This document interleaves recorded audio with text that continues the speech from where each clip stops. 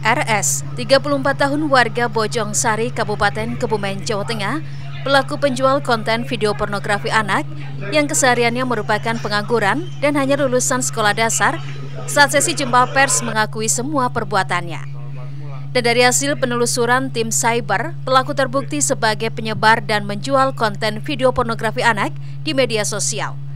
Dalam praktiknya, pelaku awalnya menggunakan akun Facebook bernama Pemersatu Bangsa yang diduga untuk menjual konten video pornografi anak.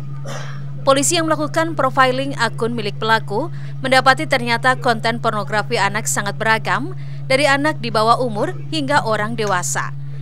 Di sini pelaku membandrol harga setiap konten-konten video pornografi mulai dari Rp100.000 hingga Rp300.000.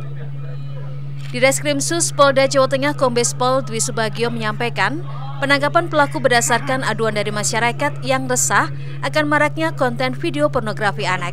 Dalam pencarian konten dan penyebaran video pornografi, pelaku bertugas sendirian.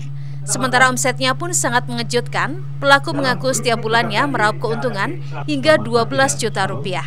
Nah, kami telah mendapati salah satu akun Facebook ya pemersatu bangsa ya kemudian dari situ kami melakukan profiling. Profiling ini berjalan, ya. Kemudian kami bisa mengetahui keberadaan yang bersangkutan dan konten-konten apa yang uh, disebarkannya.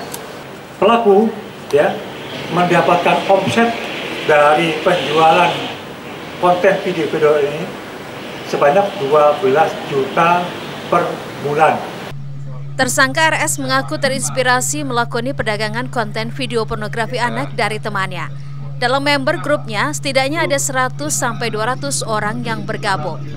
Selain menangkap pelaku, polisi berhasil menyita 5 unit telepon seluler berisi akun media sosial serta ratusan konten video pornografi. Akibat perbuatannya, pelaku bakal dijerat pasal 27 ayat 1 Undang-Undang ITE. Heri Widodo, Kompas TV, Semarang, Jawa Tengah.